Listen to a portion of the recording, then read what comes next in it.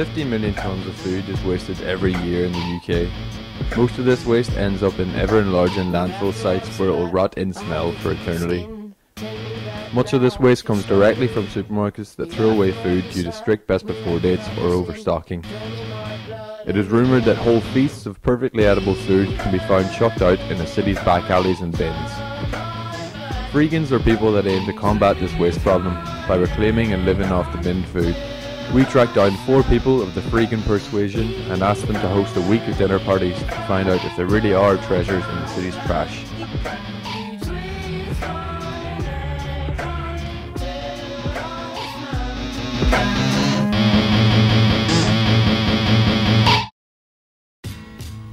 This week's host is Art Cook, a third year English literature student at Edinburgh University.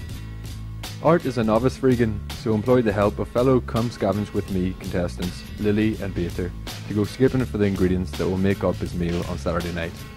Skipping is freegan slang for the process of looking for usable items in bins or skips.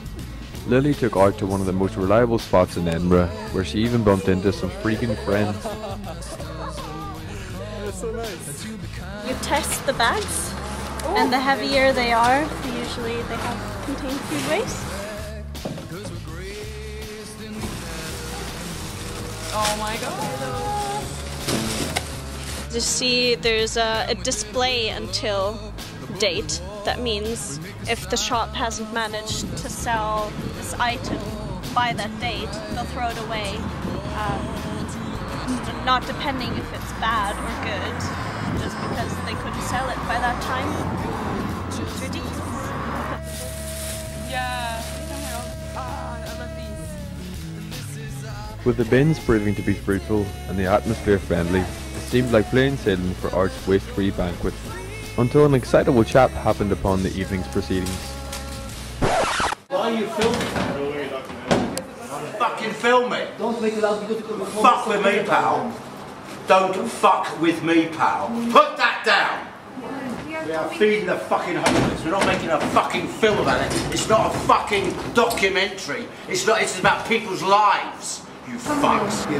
His heart was in the right place, but his temper and his judgment wasn't. And just like that, he was a lovely and very knowledgeable, passionate guy. An awful lot of supermarkets across the UK who do not respect the fact that the homeless are fucking starving. Something like £300,000 worth of food is put into the bins every single day across the United Kingdom. Now that Ridiculous. food is obviously out of date. I ate uh, eight week out of date eggs not that long ago. Eight week out of date eggs not that long ago, and they were absolutely. per- Uh, it, none of that food is uh, unfit to eat. These people at a local level are cool with that. Nevertheless, at a executive level, they do not want this food to go out because there's legislation in place that says that the Best Buy and the out of date food is not fit for human consumption. That is total bollocks. And with that, the gang headed off into the night to gather the thoughts and collect their findings. And they found it used for catchphrase. It's the day of the meal, and preparations get underway.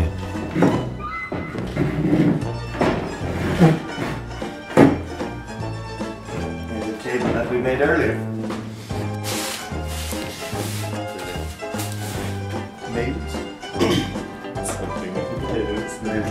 After sleeping on menu ideas and considering the ingredients at hand, Art is going for a starter of a mixed salad with fancy garlic bread, a main course of dauphinoise potatoes with sage stuffing, and a dessert of bread and butter pudding.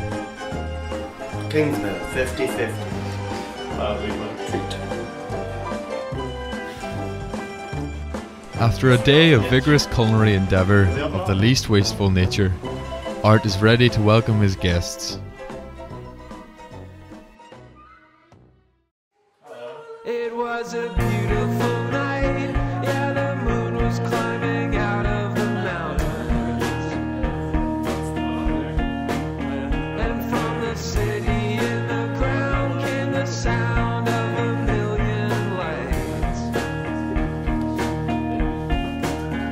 Their appetites whetted and beers in hand, the meal kicked off with that gargantuan salad.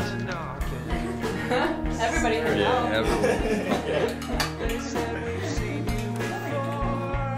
Oh, very nice. I quite enjoyed the colors. And to think that there's so much. I mean, it's so fresh, the salads. And to think that it would have been thrown away is just ridiculous. Hmm. It's still good. It's, it's Yes, potatoes dauphinoise with roulette. Oh my god, it's there. Was that And the potatoes? It's- That was more, more So yeah, this is our bread and butter pudding with the bread that we got at Waitrose. We just went skipping once and talked to some neighbors that have leftovers, and we made this huge meals and fed one, two, three, four, five, six, six people. So, with the meal going down a treat, there's one question left to ask.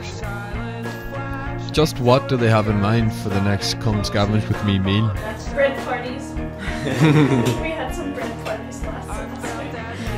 Bready, bready party.